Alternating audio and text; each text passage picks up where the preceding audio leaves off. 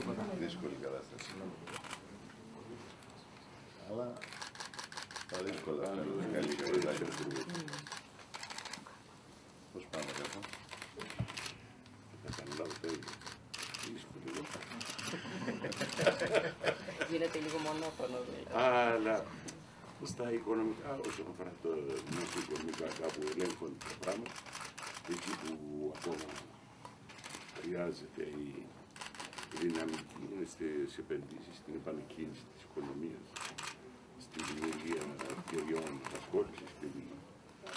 Το πιο δύσκολο κομμάτι είναι το κυπριακό.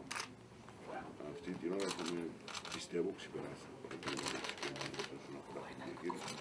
Βεβαίως, παραλαμβάνω, παραμένει το κοινωνικό κόμμα pensionistico, και να σου λέει πάρα πολύ καλή, αλλά πως δημιουργήσει ευκαιρία για απασχόληση.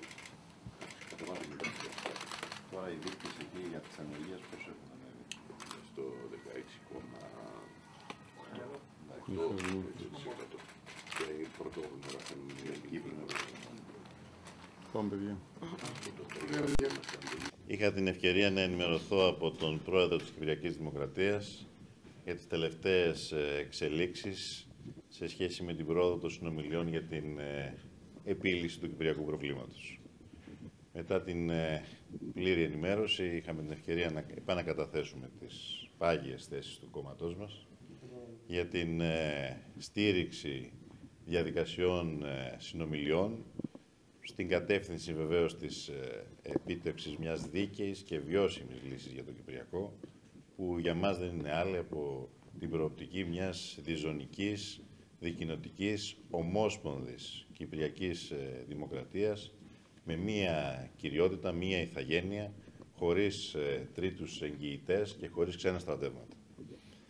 Ε, επισημάναμε βεβαίως τον Πρόεδρο και την, ε, τις ανησυχίες μας δεδομένου ότι και η Ελλάδα και η Κύπρος βρίσκονται σε μια εξαιρετικά δύσκολη καμπή, η οικονομική κρίση ε, σοβεί. Ως εκ τούτου θεωρούμε πολύ πιθανό ορισμένοι να νομίζουν πως ε, αυτό μπορεί να λειτουργήσει ως ε, εργαλείο πίεσης για την επιβολή άδικων επιλογών. Επισημάναμε ότι κάτι τέτοιο δεν ε, μπορεί να είναι αποδεκτό και πιστεύουμε ότι δεν θα είναι αποδεκτό ούτε από τον Κυπριακό λαό, α, βεβαίως ούτε και από την Ελλάδα. Κύριε Πρόεδρε, μήπως μπορείτε να μας κάνετε και ένα σχόλιο για το Έχει τα θέμα, μικρόφωνα πιο κοντά. για το θέμα που κυριαρχεί στην ε, δικιά μας επικαιρότητα. Υπάρχει θέμα Μπαλτάκου, υπάρχει θέμα Σαμαρά. Ο Πρωθυπουργός είναι ελεγχόμενος για τις σχέσεις του στενού του περιβάλλοντος με την ακροδεξιά και τη Χρυσή Αυγή.